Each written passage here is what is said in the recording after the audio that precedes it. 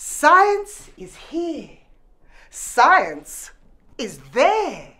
Science is everywhere. Where will Science Time visit today? Let's go see.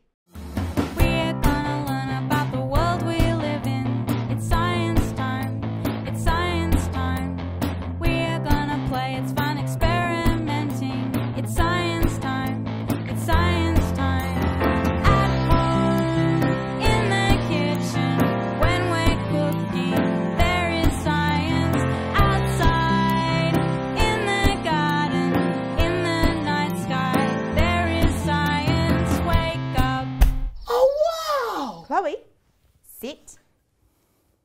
Sit. Oh, good girl. Good girl, Chloe. And now, shake hands. Shake hands. Oh, you're a good puppy. Hi, Ali, how are you going? Oh, I'm very well, thank you, BJ. you are training Chloe very well. Oh, she's getting there, I think, BJ. I actually know a really well trained dog. Do you? Yeah, he's a guide dog. Oh, Yep. what's a guide dog? Oh, guide dogs are dogs that help vision impaired people. Oh, so you mean people who find it a bit harder to see? Yeah, yeah, and they have dogs that help them. Oh, wow. And this guide dog, he's been trained since he was a little puppy. so he's really, really well trained. Maybe I could go and see how they train the guide dogs so we can get some ideas about training Chloe. That's a great idea, BJ. Excellent. Okay, so I'll be back soon, Chloe. You stay. No, no, no, they stay. Okay, Stay. Good girl. Good Good girl. Back soon. Ah, BJ, how lovely you made it. Yes. Do come on inside. Tell us all about how you became vision impaired? Absolutely. Um, I have a condition called keratoconus, and that is a disease of the cornea, which is the front part of the eye. I still do have some vision, I can see some colours, but the type of vision I have does vary depending on the day because on days when it's particularly glary, for example, then my, my vision is impacted a lot more. So I have worse vision on very glary days. So I wear dark glasses and a, and a cap to sort of keep as much light out of my eyes as possible to make me feel more comfortable. Now, there's one other thing or animal, shall I say, that also helps you, isn't there? My beautiful guide dog Wiley, would you like to meet him? Yes, please. Yes, I will. now, is it okay if I pat him? Because you always have to ask if you can pat a dog that you don't know. Wiley's at home and he's not working, he's not wearing his harness, so yes, he'd love to say hello to you and get a pat. He said Wiley's not working, so when he's home, Yes. he's just like a, a, a normal He's pet off dog? duty, he's, he's a normal pet dog, He's uh, got a box full of toys that he loves to play with, um, he gets lots of cuddles, lots of brushing, and he also likes to sleep quite a bit. When we leave the home, that's when I put his harness on, that's when he's working, and that's when it's really important that you don't um, pat him, feed him, or distract him in any way. What's the process of going from a little puppy to a wonderful guide dog like Wiley? It's a very long and quite an expensive process. It starts off when they're just little puppies. So around eight weeks of old, that's when they're, they're, they're purchased to be potential guide dog puppies. Okay. Then they go and they spend about 12 to 14 months with a really special and wonderful family called the puppy raisers.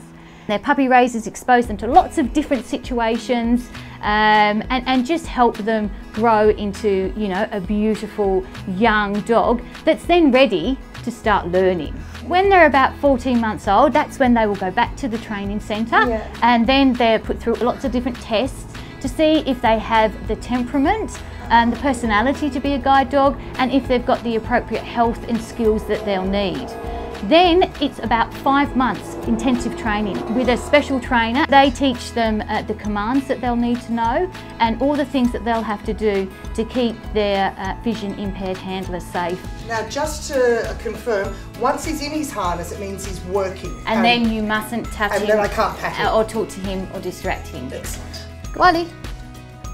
Good boy. Wonderful. He's got his work clothes on.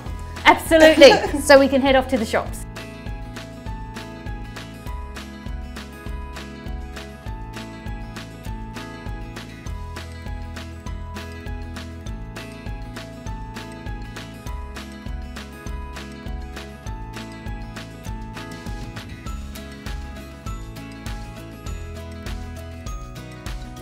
Wiley just sits under the seat, does he? Yes, I always make sure that Wiley is tucked under a seat out of the way of the other passengers So that way, as they're walking up and down the aisle to get on and off the bus, they're not going to tread on Wiley, they're not going to trip over him. It's really important that a, a guide dog is not an obstruction to anybody else. Quite a few people are often very surprised to see a dog on the bus because obviously, generally, uh, dogs aren't allowed on buses, but guide dogs and other service dogs, they are allowed on buses because they're helping their handler.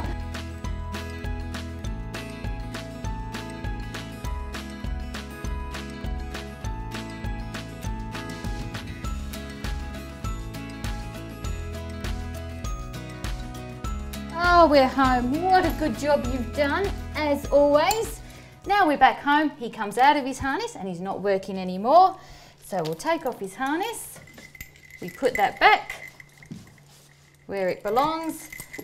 Take off his working collar and his lead and we can put on his home collar which has the bell on it so now I know exactly where he is and Wiley you've done such a good job I think you deserve a treat. Now he's not working now, so can I? You can him say how, you can certainly say what a good job he's done Good job. and I'll get him a Good little job. treat.